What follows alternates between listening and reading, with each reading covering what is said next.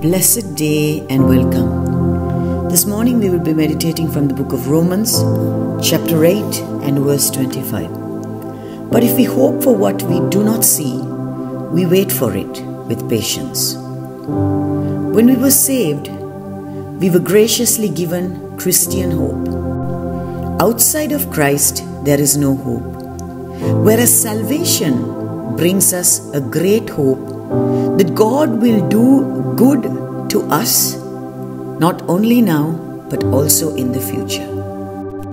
In context, hope in this verse signifies the glorious appearing of the great God and our Savior, the Lord Jesus Christ. The best is yet to come. We who belong to Christ don't need to get frustrated as we see and experience suffering and pain in this world.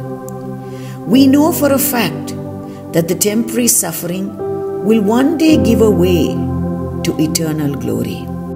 Since we have this hope, even though we don't yet see it, it is certain and should prompt a specific attitude and behavior such a person can persevere or bear up under whatever their circumstances are because they have a fixed confidence and know what is ahead of them. In his book Through the Valley of Kwai, Scottish officer Ernest Gordon wrote of his years as a prisoner of war during World War II. The six feet 2 inch man suffered from malaria, diphtheria, typhoid, beriberi, dysentery, and jungle ulcers.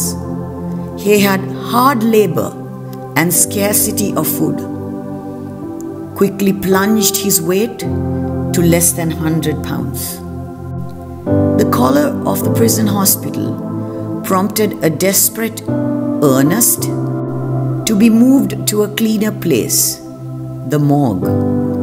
Lying in the dirt of the death house, he waited to die.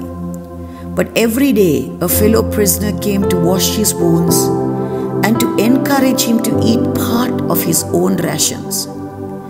As the quiet and unassumingly Dusty Miller nursed Ernest back to health, he shared the gospel with the agnostic Scotsman and showed him that even in the midst of suffering, there is hope.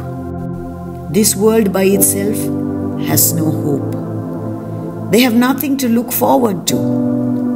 But the ones who know their King, who have committed their lives to the Lord, have the certainty of a hope that will never disappoint.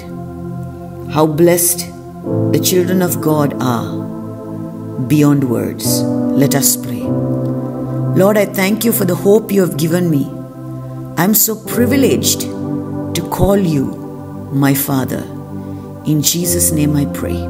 Amen. Shalom, Maranatha.